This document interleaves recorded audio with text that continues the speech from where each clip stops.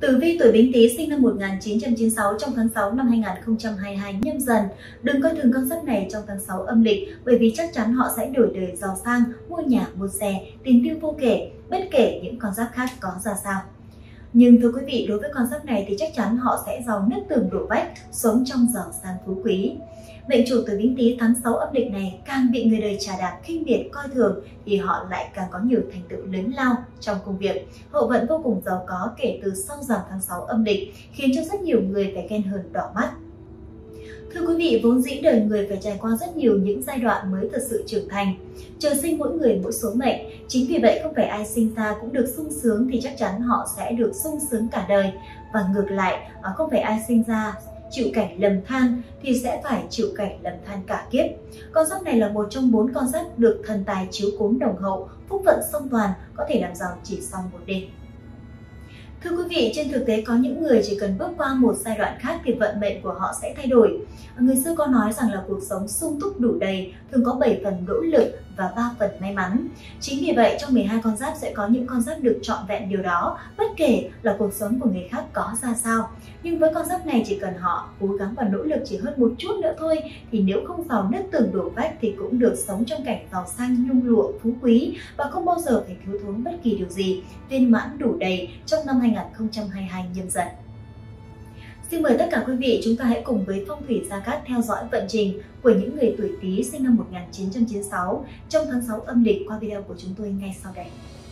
Sau đây là phần tổng quan của các quý vị gia chủ tuổi Bính Tý sinh năm 1996 trong tháng 6 âm lịch năm 2022. Tuổi Bính Tý là những người thuộc mệnh thủy, trong cuộc sống họ chịu nhiều phen lao đao vất vả, tuổi thơ gặp nhiều khó khăn và thiếu thốn. Tuy nhiên tới trung niên thì mọi sự sẽ dần thay đổi, giúp họ có cuộc sống tốt đẹp, yên vui. Họ là những người có tài ngoại giao, linh hoạt trong xử lý mọi tình huống. Tuy nhiên, trong các mối quan hệ bạn bè, họ lại hầu như không có bạn trí cốt bởi họ khó hòa đồng với bạn bè. Do đó, những người sinh năm 1996 có thể có nhiều mối làm ăn bạn cùng chí lớn, nhưng về phương diện bản thân, tâm giao thì hầu như không có.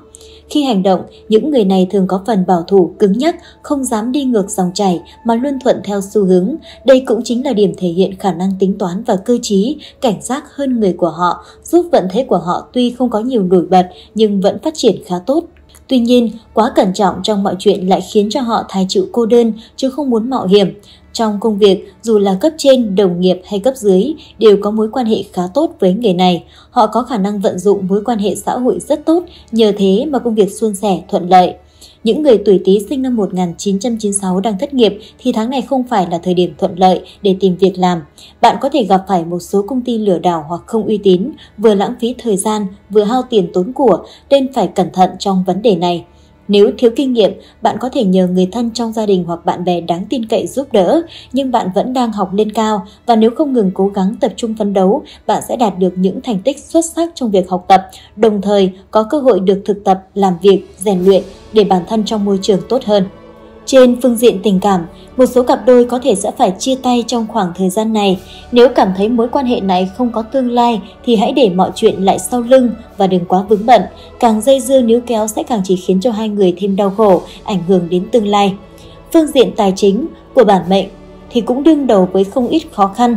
Do công việc không ổn định, thu nhập thấp nhưng chi phí sinh hoạt lại rất cao nên dẫn đến tình trạng eo hẹp đủ bề. Xét về thiên can, bính dương hỏa gặp đinh âm hỏa nên gọi là kiếp tài, nghĩa là ngang bằng với bản thân.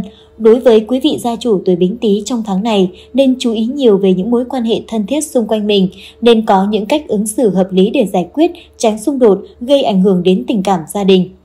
Thứ nhất, về sự nghiệp quan vận.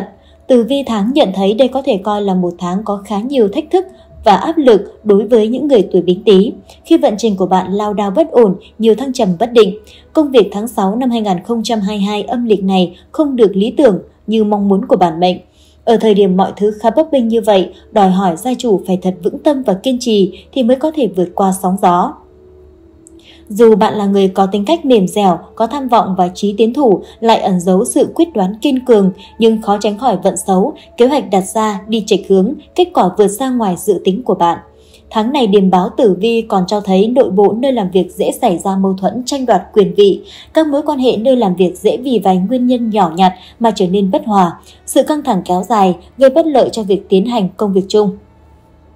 Hành sự trong tháng này cần lấy ổn định làm trọng, suy nghĩ kỹ càng trước khi đưa ra bất kể quyết định gì, tránh nóng vội kẻo hỏng sự. Đặc biệt, bạn nên tôn trọng các lộ trình sẵn có, tránh sáng tạo hay mạo hiểm vượt ngoài khuôn phép bởi sự phá cách là không phù hợp trong giai đoạn bất ổn này năm nhâm dần 2022, Thái Tuế là hạng ngạc đại tướng quân, dưới chân của đại tướng quân có một con hổ. Để cho vận trình sức khỏe và gia đạo được hanh thông thuận lợi, thầy Gia Cát khuyên quý vị gia chủ hãy luôn mang theo bên mình một kim bài Thái Tuế để nghênh đón Thái Tuế mang lại may mắn, bình an.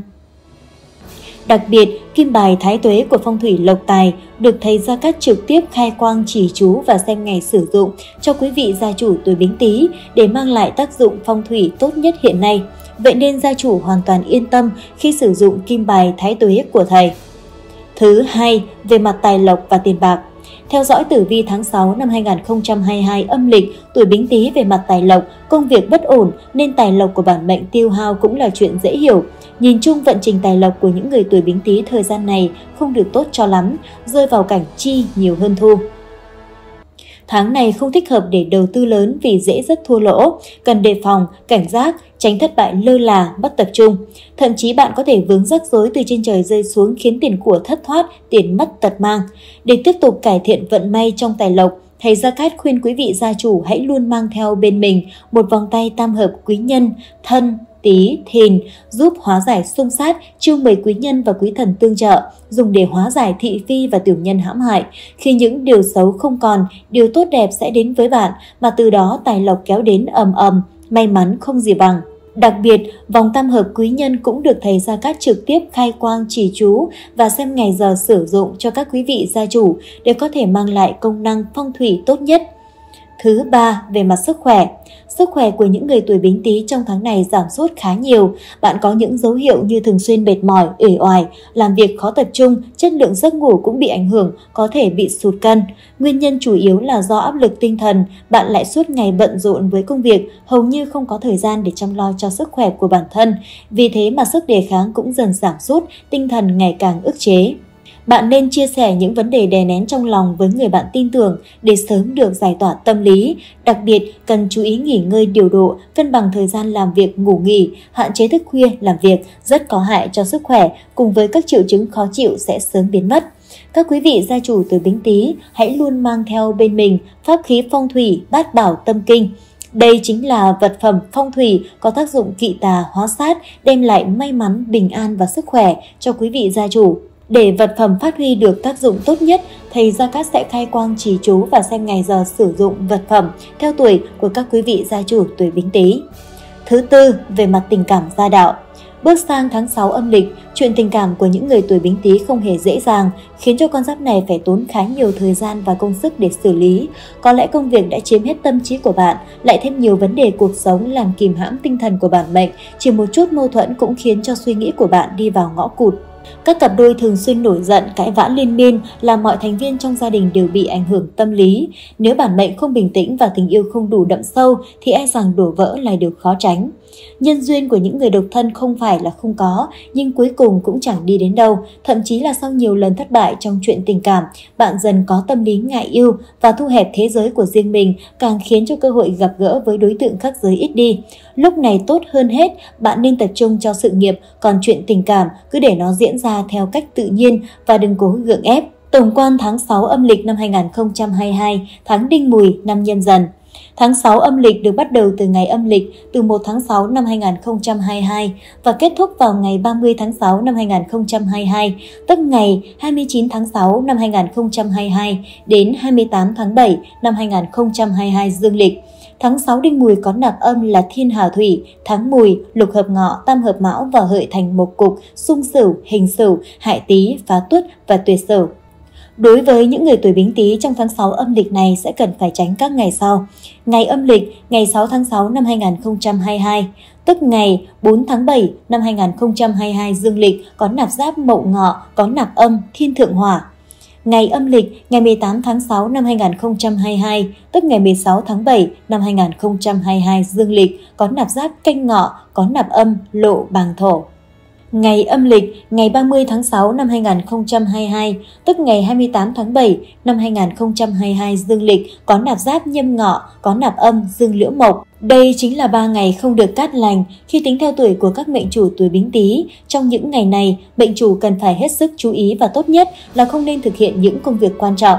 Lời khuyên từ các chuyên gia phong thủy cho bản mệnh là nên chú ý tới sức khỏe nhiều hơn, chi tiêu tiền của vào những việc cần thiết, không nên vung tay quá chán. Các ngày tốt đối với những người tuổi Bính Tý trong tháng 6 âm lịch năm 2022 nhâm dần. Ngày âm lịch ngày 1 tháng 6 năm 2022, tức ngày 29 tháng 6 năm 2022 dương lịch có nạp giáp quý sửu, có nạp âm tang trá mộc. Ngày âm lịch ngày 13 tháng 6 năm 2022, tức ngày 11 tháng 7 năm 2022 dương lịch có nạp giáp ất sửu, có nạp âm hải trung kim.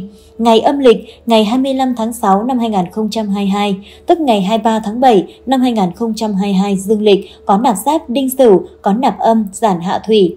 Đây chính là hai ngày cát lành trong tháng để các gia chủ tiến hành các công việc liên quan đến xuất hành hay tiến hành những công việc quan trọng sẽ dễ có kết quả cao hoặc những vấn đề nhỏ trong gia đình bạn tiến hành đều hết sức thuận lợi.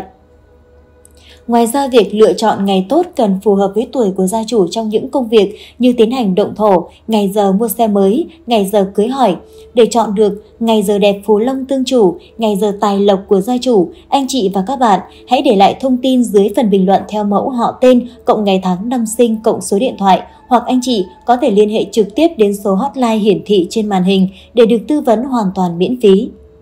Quý vị thân mến, vừa rồi chúng ta đã cùng nhau tìm hiểu về lá số tử vi của những người tuổi Bính Tý 1996 trong tháng 6 âm lịch. Và qua đó thì quý vị cũng phần nào nắm được vận hạn của mình và biết được mình cần phải làm gì để có thể có được may mắn và thành công trong tháng 6 âm lịch này. Rất cảm ơn tất cả quý vị đã quan tâm theo dõi. Quý vị cũng đừng quên nhấn vào nút đăng ký kênh và ấn vào biểu tượng quả chuông thông báo để có thể luôn là người đầu tiên chúng ta nhận được những thông tin mới nhất từ kênh quý vị nhé.